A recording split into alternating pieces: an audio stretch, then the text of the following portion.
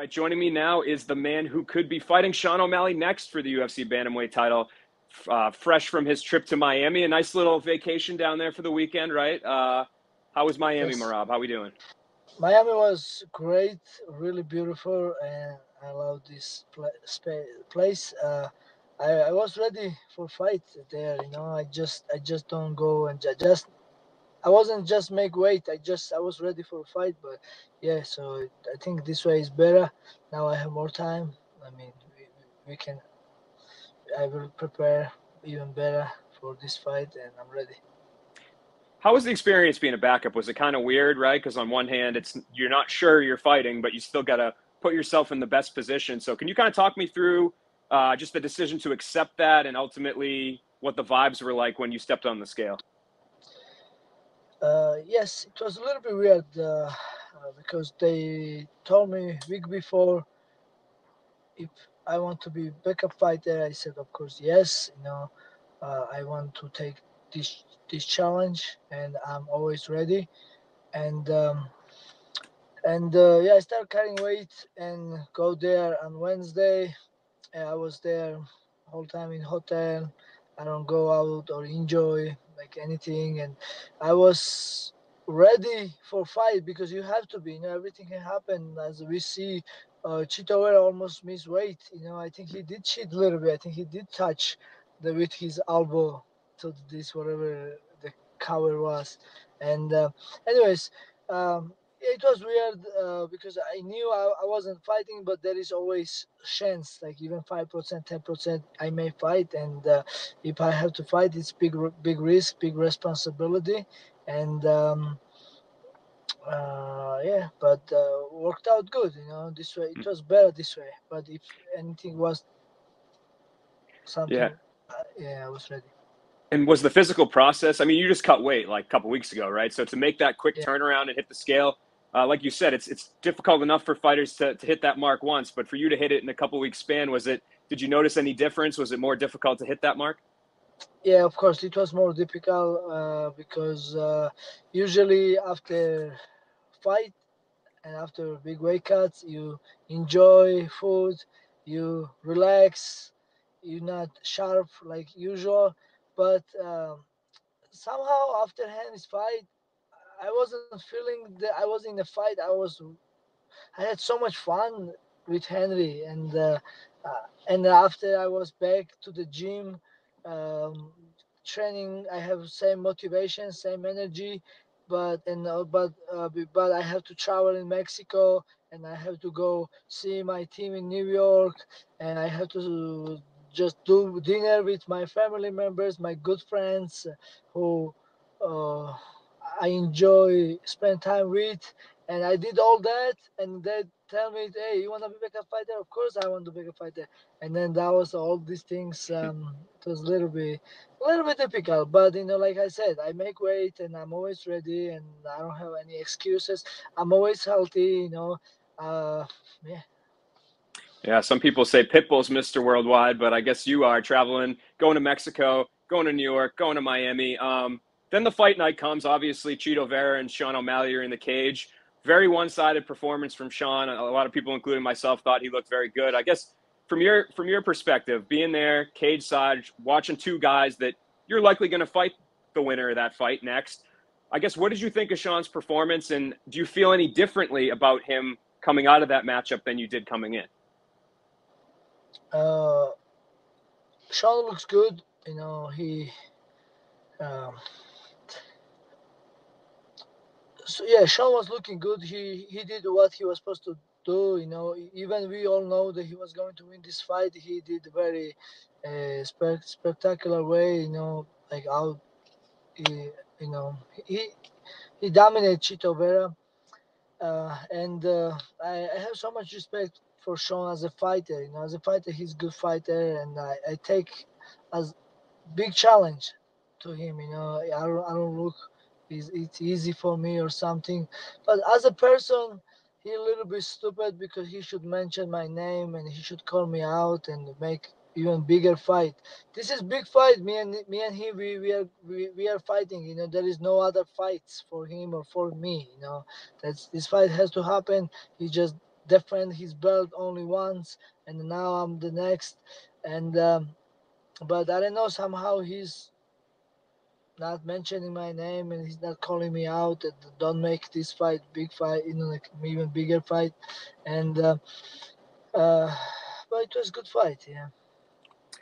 Yeah, and were you uh, when he took the microphone, right, and he calls out your your friend there, uh, Ilia Topuria? Were you surprised? Did it catch you off guard? Or did you think that he was going to go in that sort of direction? Yeah, I was very surprised. Like, what this guy doing? Like, what? Just either be be quiet or just don't call somebody who's not gonna fight you. This fight not gonna happen. Ilia is great champion, but he just win his belt, and then now UFC not gonna let this fight happen because it's first fight defend other like you know it's like the Sean he it's not like he cleaned division or something he, he, he I was supposed to fight him for this fight but he called number six guy okay I understand we all understand yeah some people wants to see this and UFC support this fight okay we understand but now let's move on and let's fight me yeah of course like I was very surprised I was mad actually like um, he don't call me out or he called Ilia. Uh, but you know, we all see the Ilia say UFC don't give a shit hmm. about you know about his this you know. And, yeah. Why do you think Sean called out Ilia? Was it just do you think the money fight? I think he just don't want to uh, mention my name. You know, I think I don't know. I don't know. I think he don't like my nose. You know, he he's a has a cracked nose. I don't know, bro. It's it's it's, it's just hey, I'm a number one contender. I have a 10 fight win streak, and I'm the next, and he should just fight me. You know, like I don't know. Somehow he don't like me, and he don't want to fight me. You know, I I don't know. I don't know. Mm. And he's smart guy. Maybe he sees saw some challenge uh, from me, and um, uh, and he's just ignoring me since 2018. I after this I win 10 fights. I was mentioning his name every fight. Sean always ignoring me, always. And there was that video that came out afterwards of, of you trying to talk to him in the back when he was leaving, and um, ultimately that was what you were trying to, to kind of say to him, right? You were saying, "Say you should you should have said my name." Is that kind of what the gist of it was? Yeah, uh, I said congratulations, and he kind of ignored me again. He's like, "Thank you." He not even shake my hand, and bro, I said, "You should mention my name." and then he he's oh shit he said oh i don't even know who he was like again i'm like bro he just like i mean I, I give respect all the champions and i did give him respect but he it's that's not champions move that's what real men what real men should do you know he should be better than that you know yeah for sure and i guess um your buddy Ilia, right? I think a lot of people thought it was interesting that he came out and said Merab's next, right? In a sport where everybody can be kind of selfish and like he might see see it as oh a big champ versus champ fight. There might be some money for for me on the line, but he right. he said you know Merab's next, kind of squashed the doubt on that one. I guess what does that say about Ilia? And, and I guess have you talked to him at all uh, just about that whole call out situation? yeah, Ilia is real champion. Ilia is real man, and he, of course he's my brother, and I love him. And of course he did he did right thing, uh, and um, yeah, I, I don't talk to him like after after fight. You know, I know he's crazy busy. He knows I am busy. We all doing very good in life. We all training, getting better, and. Um, uh, and but uh, you know we always support each other. I'm gonna see him uh, in soon in a couple weeks in uh, either in Georgia or in Spain, and we're gonna have and we're gonna spend good time together. And yeah, we, you know we don't have to talk about all this. You know he knows what's what's what's real men should do, and he's doing like whatever you know what he was supposed to do. You know he's a good guy and a good champion, and uh, I love him. You know. Yeah, no doubt, man. And I guess um, for you, has there been any assurance? I know Dana White said afterwards, after the the fights, like they're not doing Sean versus Ilia. He doesn't have interest in that. I think looking at the division right now, like he's already called you the number one contender when you won against Henry, right? So has there been any conversation since Saturday night between you or your manager Oren in the UFC at all, or do you think that they're just kind of waiting uh, for time to pass a little bit more? Yeah, nothing uh, conversation yet with UFC. We're just waiting. Uh, uh, I think uh, today is Tuesday and it's matchmaking day, and uh, hopefully any news. Yeah, I th- or also Sean O'Malley just came uh, champion. I'm sure they will give him his time. I'm not rushing. You know, I don't wanna like I don't wanna be disrespect. You know, I want to champion have his own time, take his time, take a vacation or enjoy with his belt. And whenever he decides he wants fight, I'm, I'm here. I'm, I'm always ready. And um, as you guys see, I make weight in one mm. week, and I was there ready for fighting. So I'll be I'll be ready. I don't have nothing to rush, but long as I know I'm the next in the line, and I know UFC know, you guys know, all the people know in around, around the world, you know, and um, I'm good at I'm like I'm blessed. Um, uh, just uh, I got here with hard work.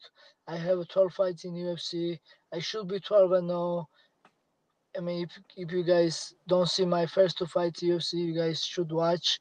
I think I win my first two fight. I just got robbed, and um, yeah, but you know, uh, I'm not focused of my whatever it was, you know. Now I'm focused on future. I mean, uh, I am.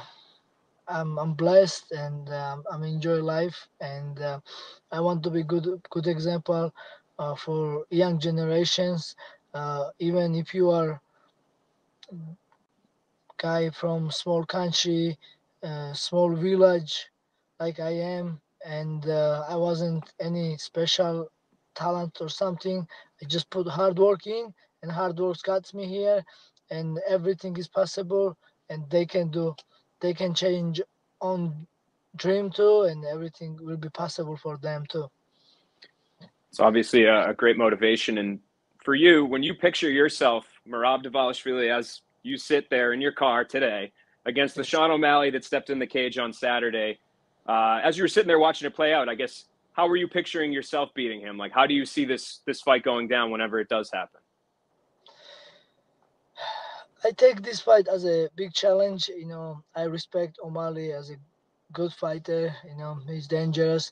Uh, I want to fight him last um, six seven years because of I see the danger, I see the good popular fighter, and uh, I I don't do I don't look this fight easy. I just wanna challenge myself.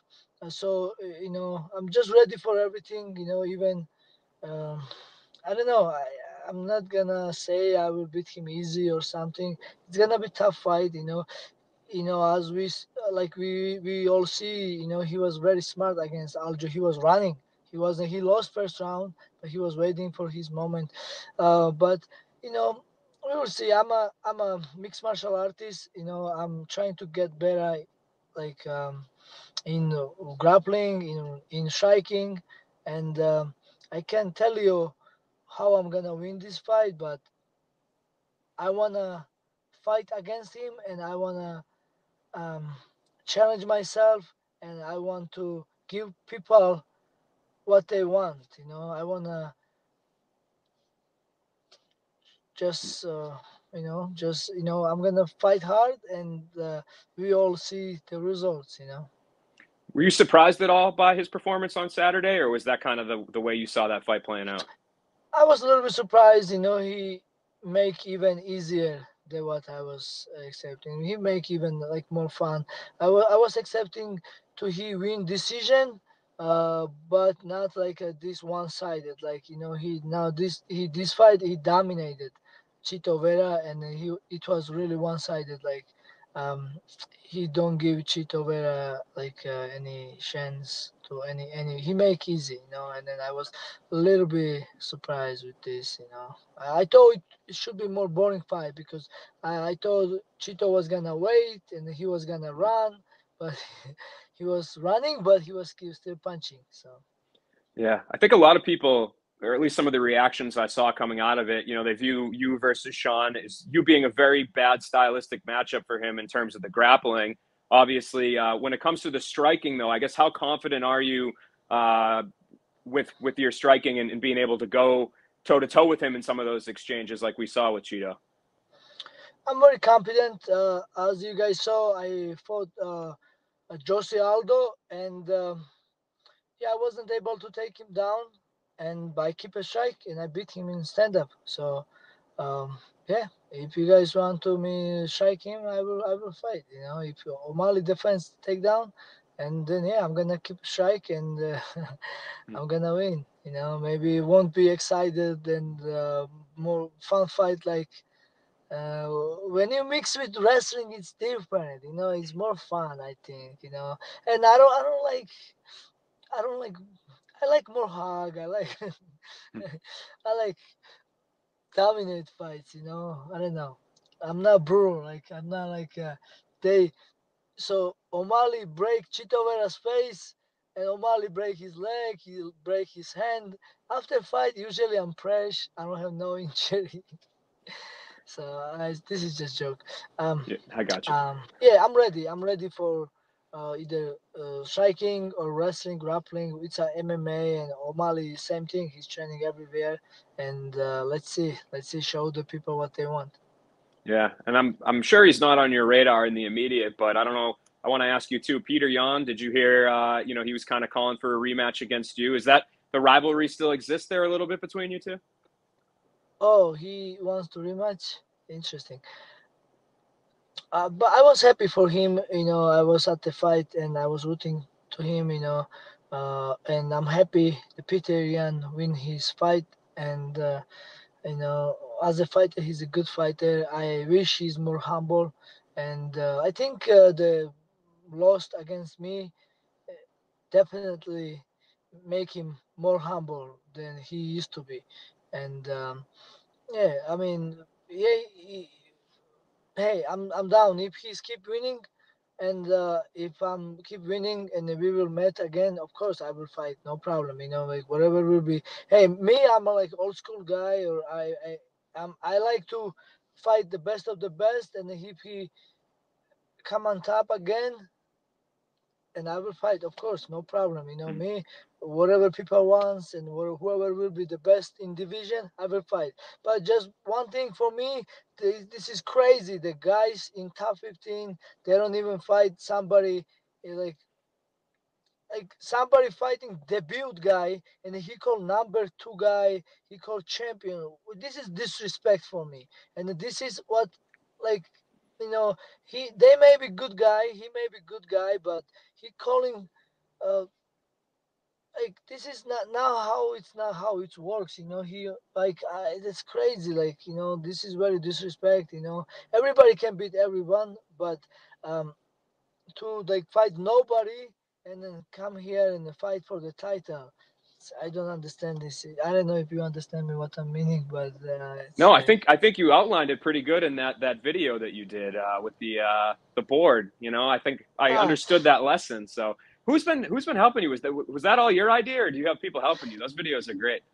No, that was my idea. Uh, I was so mad uh, when I see Chito or once rematch if he win the belt uh, he wants fight for the Sandhagen and like guys I'm here. What are you, what are you guys talking about? Like yeah. what are you guys talking about? Like and then like and then I I did I I put together and uh, um, yeah of course my friend helped me but that was my idea. But when we was recording I started one night I was doing the making video and then I added some tab and I have to continue next day. And then uh, yeah, so I mean, nobody really helped me. I wish somebody helped me. If somebody want to help me with my to make it like this, I will take. I will pay. But no, I I just myself. But you know, this is just so okay. What I was saying um, before the there is the guy uh, from Dagestan. He's a good fighter, but he fight nobody. You know, he fought the guy somebody from debut, and now he wants to fight for the belt it's not how it works. I think it's very disrespect. You know, there is other guys that who has a long win streak, and he should fight them, and then the top fight, the top fight somebody in top ten, then top five, and that's and then the belt. But you know, like you fight nobody, and um, now you want to fight for the belt. Yeah, you maybe good fighter, but like I don't. And you're talking about Umar. Umar, yeah, I'm talking about Umar. He's a good guy. I, you know, I like him and I respect. You know, but he's he's he's talking trash uh, to myself. He's talking trash everybody. He's he's calling like uh, top guys. You know, he's good fighter, but come on, bro, you gotta fight somebody good, and you gotta um, the the the you gotta just go step by step, you know, top, fight somebody in top 15, fight somebody in top 10, fight somebody in top 5, and then let's put, you know, title conversation after, you know, but like, yeah, you good fighter, but you, who knows you good fighter or no, you, you, you don't got tested yet, you know, you fight somebody debut guy. Come on. And if you become champion, are you hoping to kind of change that trend to try to get people, you know, to take fights of guys that have earned it in your mind? I mean, you, I mean, yeah, if I, I would love to fight the the, the next challenge, you know, the top guys. Then yeah, I mm. would like to change. Of course, I'm not gonna call like now, like I said in my video, I'm not gonna call rematch and retire. Um, uh, Frankie Saenz. I'm not gonna call Ricky Simon because yes, uh, I got robbed in these fights, and I, I think I d- never lost these fights. But I'm not gonna call Ricky Simon now because why I have to call him? You know, he's I'm I'm I'm I'm like number one or you know like why I have to fight the guy who has a loss you know saying? Or something rematch like this. You know it has to be the why we have a rankings here. Mm. why we have like winning streak here. Why we have you know you know saying? Why it's like if it's like if debut fights to champion it's it's not UFC this is something else. Yeah no I got you and I guess last question I know Sean O'Malley has to recover. He's got a boot on his foot. Ideal timeline for you. When would be the perfect return? Would it be like early fall? Would it be late summer? Kind of what are we thinking here? I'm ready, guys. Uh, as you guys see, I make weight in one week, and I was ready for fight last weekend, uh, uh, three weeks after my fight, and um, me. Um, let's let let champion take his time. Let him enjoy uh, with his belt and uh, whenever champion will decide to come back and fight i'm ready anytime either will be june july august september october november december january i'm fine awesome man will the jacket make a return or has that been have we put that on ebay or something as I don't understand question. Say again. No, the, the jacket that you wore. What happened to it? Will it make a make a comeback? Will Sean O'Malley's jacket that you stole will it will it make a return? Or have we seen the last of the jacket? Ah yeah. So if make the return i don't understand um, um it's okay. Get, but no, don't no, worry about it. no i was just saying like will we see it again? You know? Because you had yeah, you you wore you wore a jacket like that to the next fight so i was curious if if you yeah, if you put that up for sale or no no i'm not selling yet this red jacket but uh, i wanna he, uh, okay, okay, one second. So I'm not, I'm not putting to sell this red jacket yet, but I wanna stole his another jacket, the white jacket. I like it, and then, and then when eventually, when times comes, then I wanna stole his belt. So that's it. All right, man. Well, I appreciate your time, Merab. Good luck with everything going forward. Can't wait to see the fight whenever it happens, and uh, enjoy the rest of your week, dude. I appreciate you, man. Thank you so much.